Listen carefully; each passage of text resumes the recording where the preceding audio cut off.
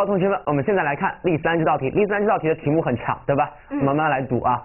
参加世界杯足球赛的国家呢，共有三十二个，所以咱们简称就是三十二强。那么每四个国家编入一个小组，所以三十二个国家一共分成几个小组？八个小哎，咱们三十二首先除以四，那就是一共是八个小组八个小，组对吧？嗯，然后呢，在第一轮的单循环赛中，也就第一轮是单循环赛，对吧？那么怎么样进行单循环赛呢？是每个国家都必须，并且呢只能分别和本小组其他各国进行一场比赛。也就是说，为什么要分成八个小组？就是每个小组的内部进行单循环赛吧。嗯好，那么然后赛出十六强，那原来是多少强？三十三十二强，现在只剩下什么？十六强。那换句话说，每个小组比完单循环赛之后，还剩下几个队？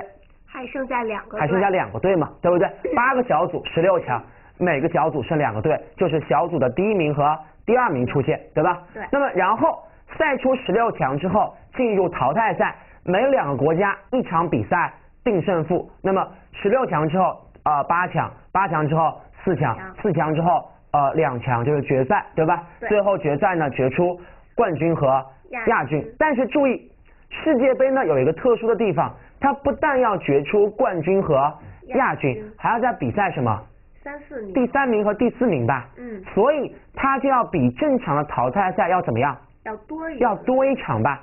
多哪一场？就是三四名之间的比赛吧。嗯，对不对？好，继续。至此，那么本届世界杯的所有比赛就全全部都结束了。那么问，一届世界杯的全部的足球赛全程一共有多少场吧？那么首先老师来问一下，要求这个多少场？首先我们要把它的赛制搞清楚吧。嗯，它的赛制其实是分成两部分，第一部分是什么？第一部分是单循环赛单循环赛。那第二部分呢是淘汰赛淘汰赛。所以咱们首先先求单循环赛的场数。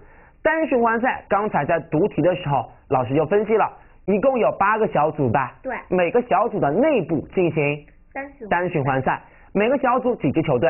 四支，四支球队。那么四支球队，每支球队比赛几场？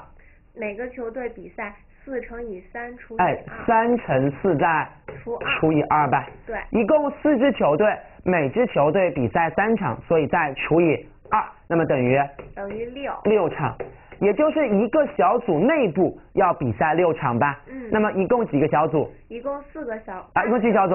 八个小组，所以是六乘八等于四十八，四十八场。所以第一轮的单循环赛一共要进行四十八场。那么继续，然后进入淘汰赛。淘汰赛是十六强吧？嗯那么按照正常来说，十六强到冠军比赛几场？比赛十十六减一场吧，对，十六减一。但是刚才在读题的时候，老师又分析了，好，看老师这个特别擅长分析啊，多一场什么？三四三四名的决赛，也就是说到了四强之后，虽然有两支队被淘汰了吧，嗯但是淘汰了之后呢，他们还要再比赛一场来决出谁是第三名，谁是第四名吧。嗯所以十六减一之后还要再怎么样？再加一，再加一，所以淘汰赛一共打几场？十六场，十六场。那么循环赛四十八场，淘汰赛16十六场，那么所以一共几场？四十八四加十八六，加十六，计算一下多少场？六十四场，六十四场。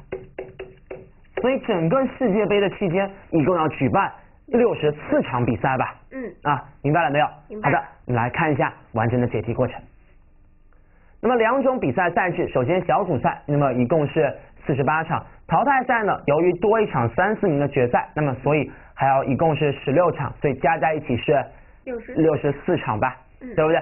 所以如果比较喜欢看球的这个同学，或者像老师这样的成人，特别喜欢看球，那么一到了世界杯之后啊，大家就会发现明显这个眼圈就变黑了，对吧？嗯跟熊猫一样，为什么？你想，一共六十四场比赛要看，而且一般的这个比赛都会在什么欧洲啊、呃南美洲来举行，所以基本上都要熬夜，对吧？是你熬那么多夜啊，这个眼圈不黑才怪啊。那么像最近有一场也是非常重要的比赛，就是欧洲杯吧。嗯啊，老师呢经常熬夜看球，所以老师明显最近有点憔悴啊啊，今后要注意休息。好了，我们例三就讲到这里，同学们稍微休息会儿。